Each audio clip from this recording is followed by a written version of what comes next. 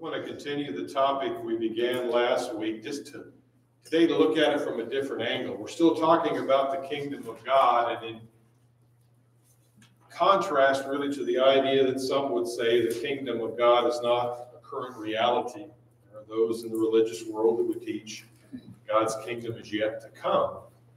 Well, last week we looked at that question from the uh, perspective of did, did Christ fail to do what he said he would do? And of course, that was to come to set up a kingdom.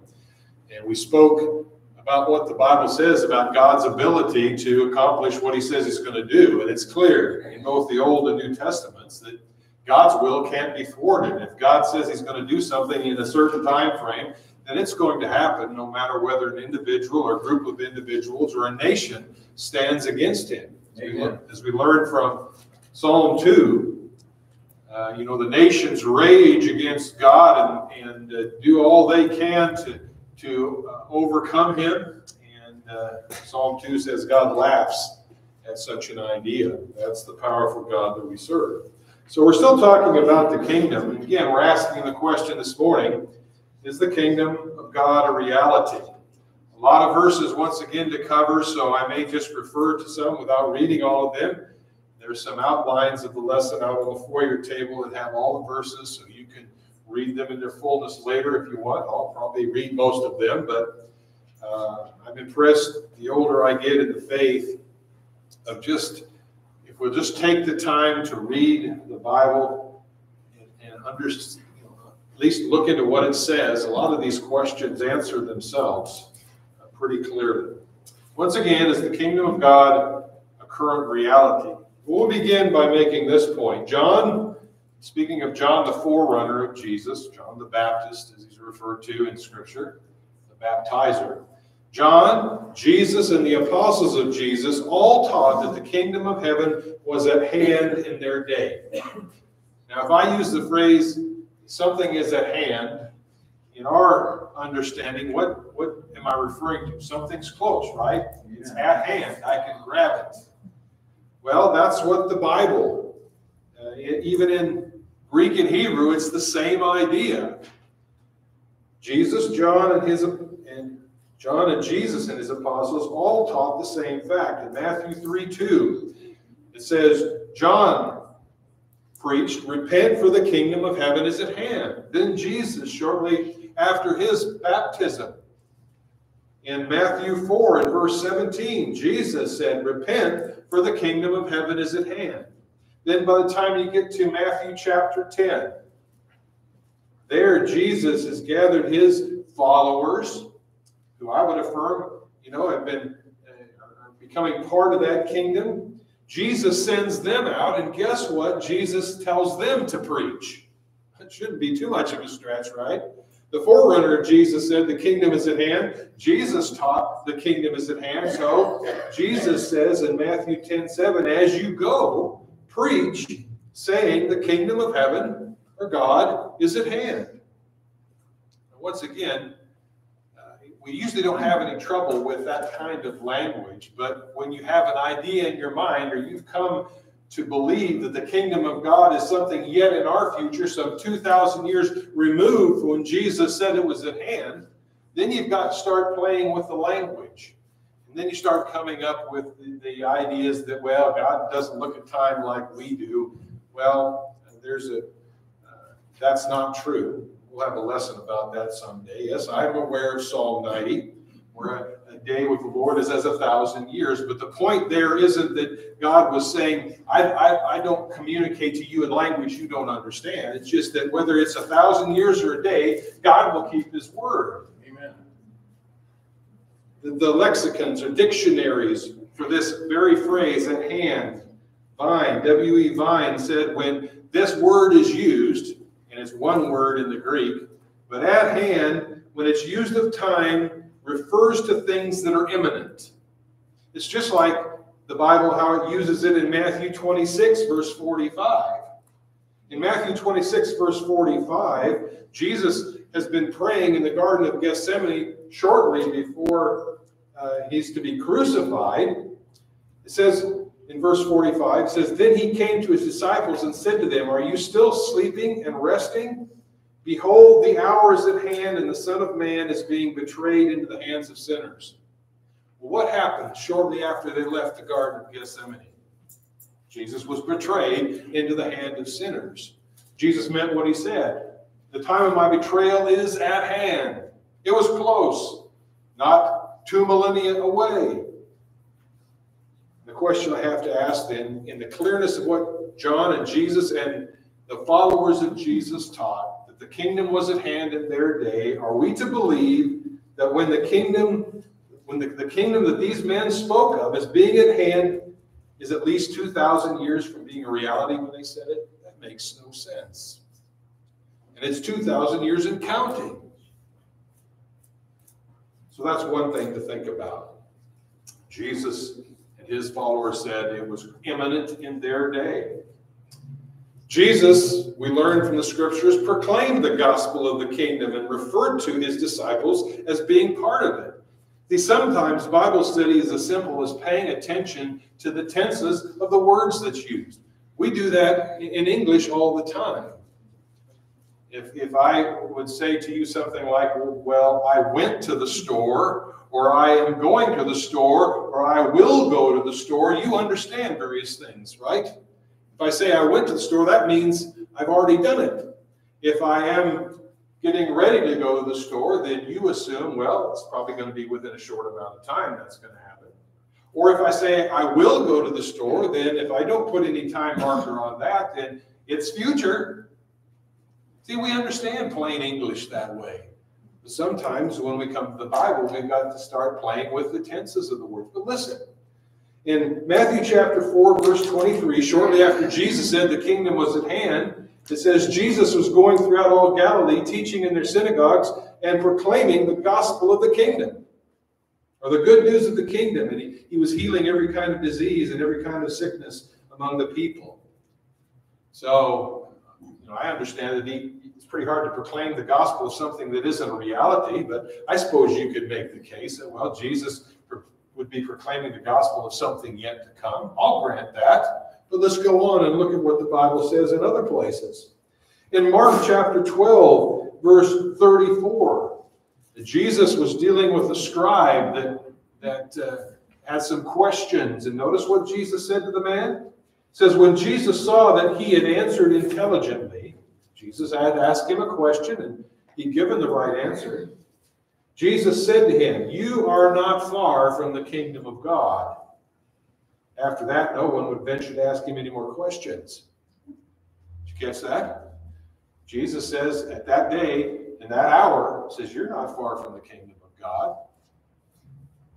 Well, once again, if the kingdom's yet to be uh, established, then that man who answered intelligently was a long way from the kingdom. Matthew 11, verse 12 says, From the days of John the Baptist until now, the kingdom of heaven suffers violence, and violent men take it by force. The kingdom of heaven suffers violence. It was suffering violence in the first century.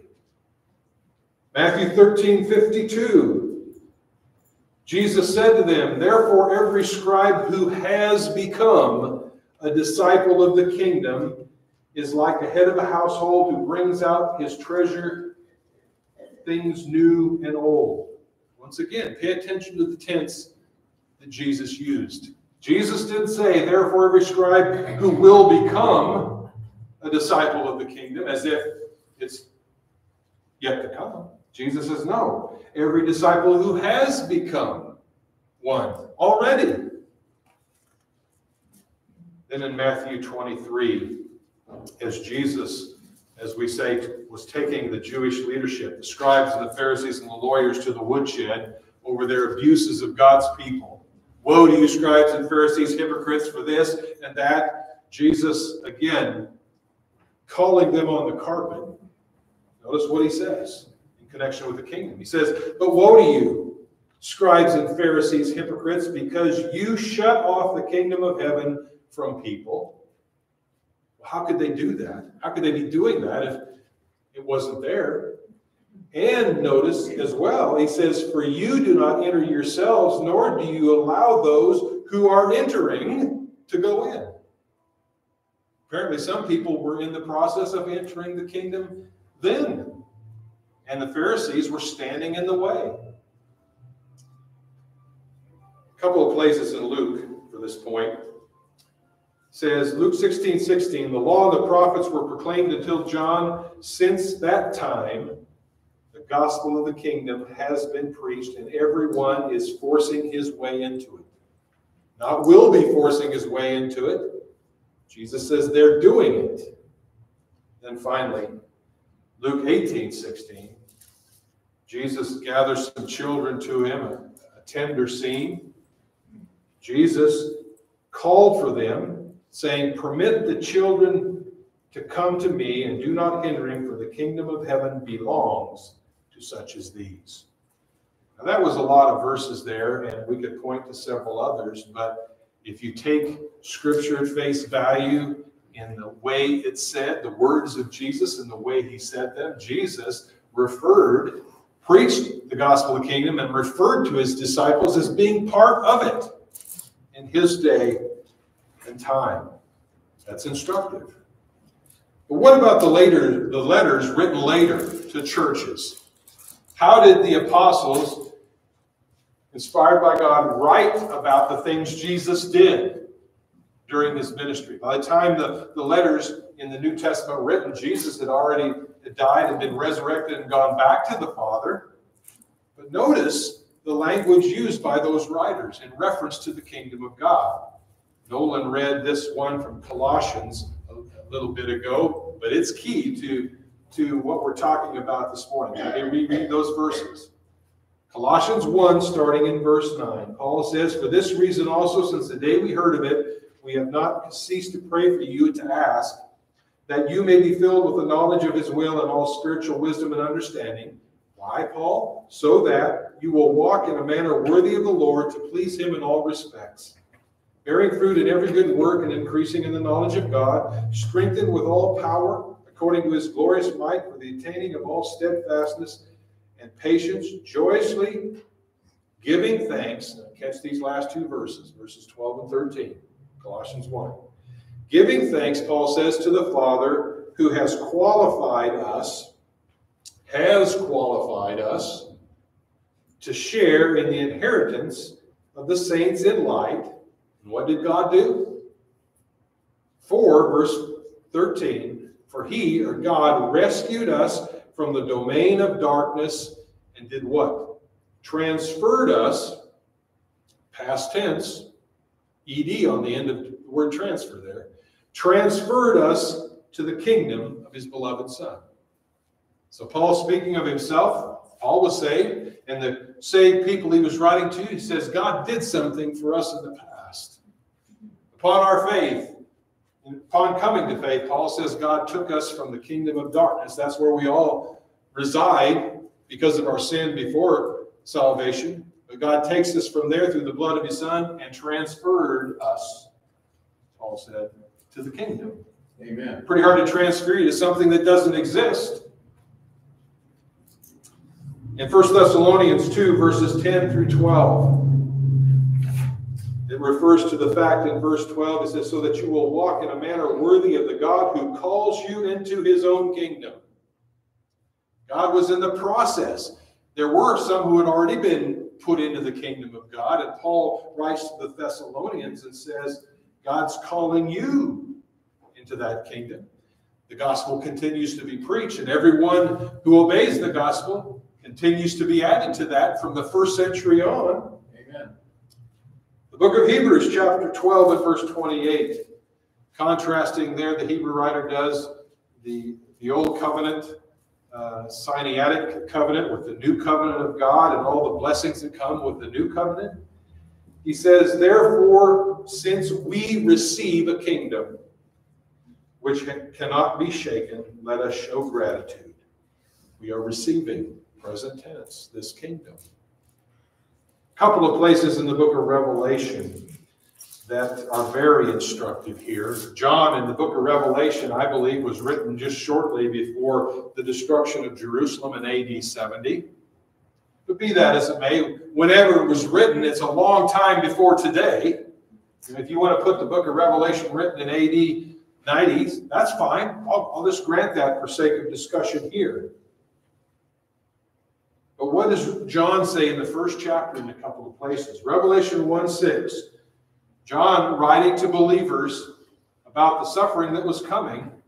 And the book of Revelation begins and ends by speaking of things that were to shortly take place and are coming soon the destruction of Jerusalem, the, the church's, you know, the effect it would have upon believers.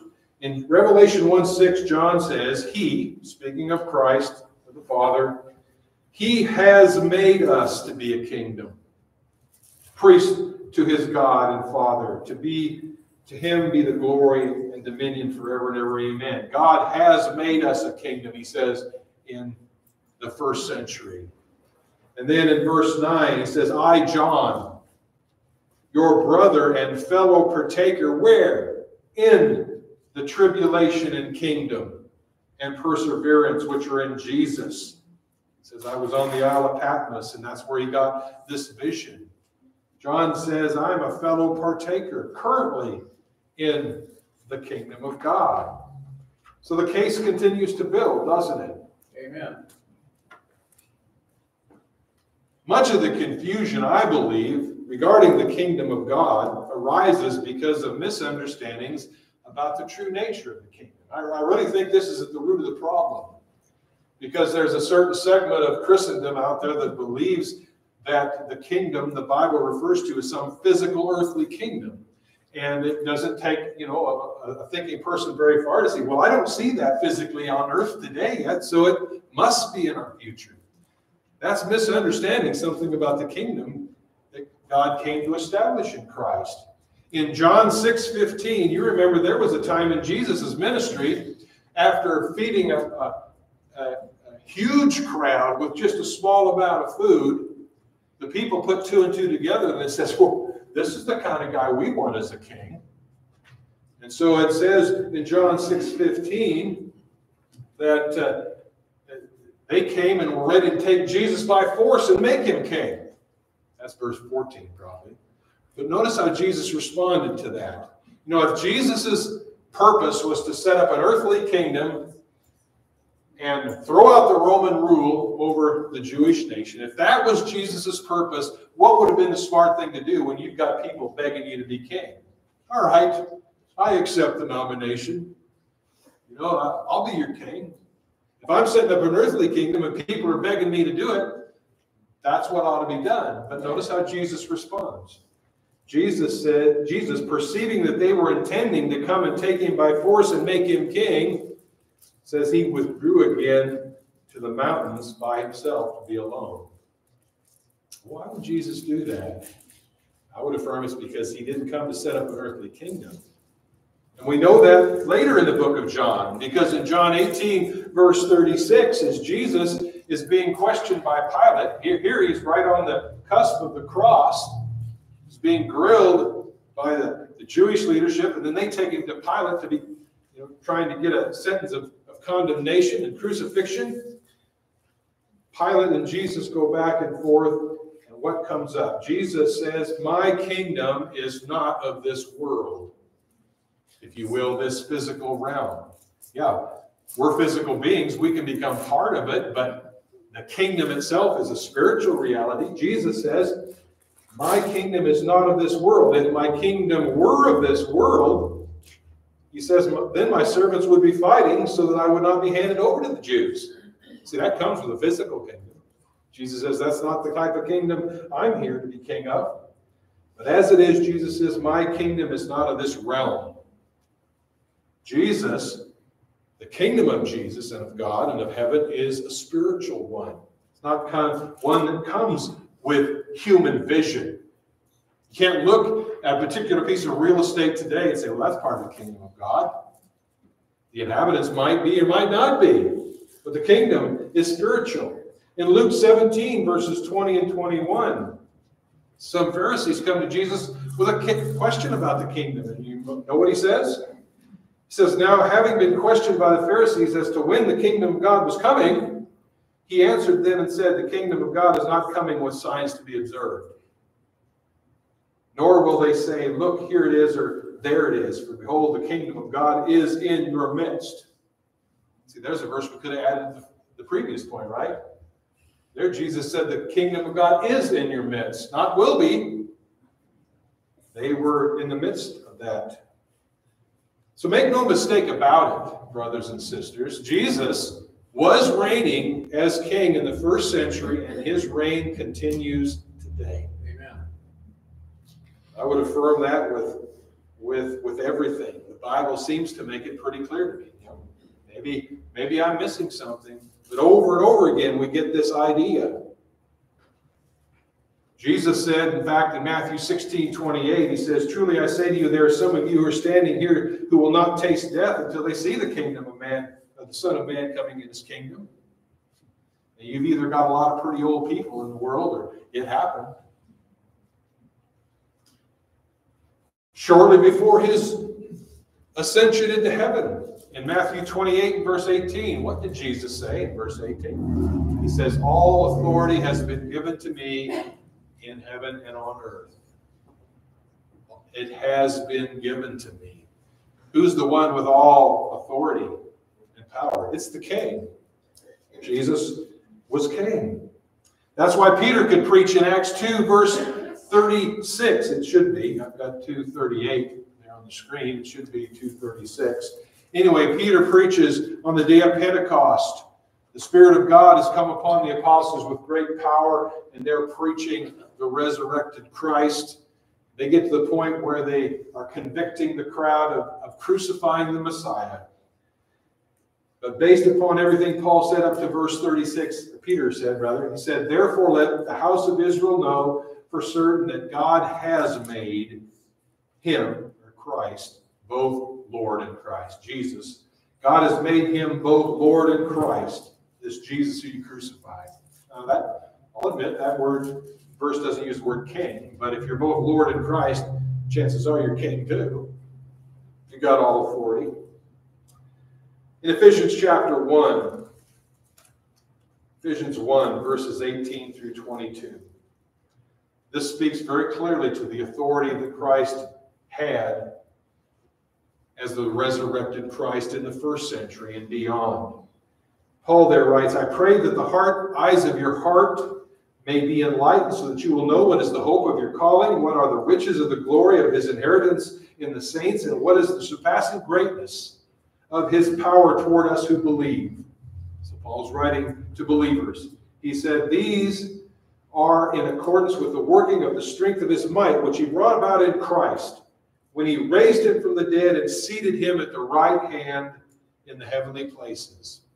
The right hand of God is the king of the universe, and Christ rules from his right hand as king, which he brought about when he raised him from the dead and seated him in his right hand in the heavenly places, far above all rule and authority and power and dominion, and every name that is named, not only in this age, but in the one to come. And he put all things in subjection under his feet and gave him his hand over all things to the church.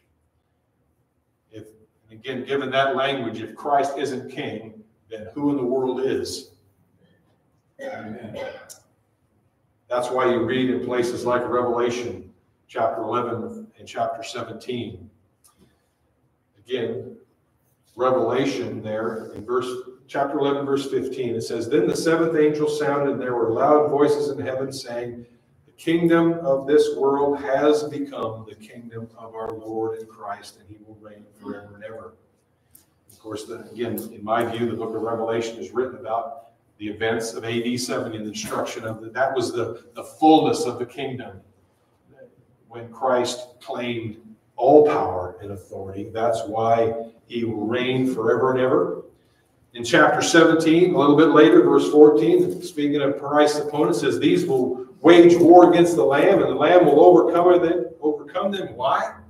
Because he is Lord of lords and King of kings. Amen. And those who are with him will be called the chosen and faithful. One final point just to consider. Again, just to ask the question Is the kingdom of God a current reality? I believe biblically the answer for that is unqualified, an unqualified yes.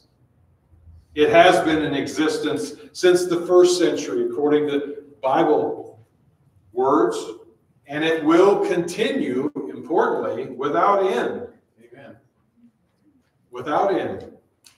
Daniel 2 44 speaks of in the days, in the context there, referring to the days of the Roman Empire. When Nebuchadnezzar sees this dream of a statue, and Daniel's given the interpretation. He says, In the days of those kings, during the rule of the Roman Empire in the first century, of course, was in the, some of the height of that. In the days of those kings, the God of heaven will set up a kingdom. See, there, there you've got future language because Daniel was written before all this happened in the first century. The God of heaven will set up a kingdom which will never be destroyed. And that kingdom will not be left for another people. It will crush and put an end to all these kingdoms, but in itself will endure forever. And finally, Luke 1, verses 32 and 33, the angel Gabriel talking to the young Virgin Mary, who was to have a child who would become the Messiah. Speaking of that child, the, the angel says, And he will be great and will be called the Son of the Most High. And the Lord God will give him the throne of his father David, and he will reign over the house of Jacob forever, and his kingdom will have no end. Amen. Perhaps the question then left for us today is we don't have to really debate about the kingdom, right? Bible affirms that it's a reality. The question we need to deal with is am I part of that kingdom or not? Amen. Christ is ruling according to scriptures. I want to be part of Christ's kingdom. How about you? That's if that's the kingdom that's going to last forever, then I better be a part of that kingdom. Because as we just read, all other kingdoms will bow the knee to the kingdom of, of Christ. Are you, am I part of the kingdom of God? By faith this morning, you can become part of the, the reality of the kingdom today. You can be part of the kingdom that Jesus preached and, and died for, that he established as he promised to do. By faith, you can accept the gospel of God, the good news that God, through Christ, has done everything necessary for you to be saved, short of forcing you to do it. He offers it by faith. It's a gift that God holds out to you. By faith, obedient faith, we accept that gift. I would encourage you this morning to accept the salvation that God offers, the deliverance from sin, and become an important member of Christ's kingdom and rule with Him forever and ever. Let's stand and sing.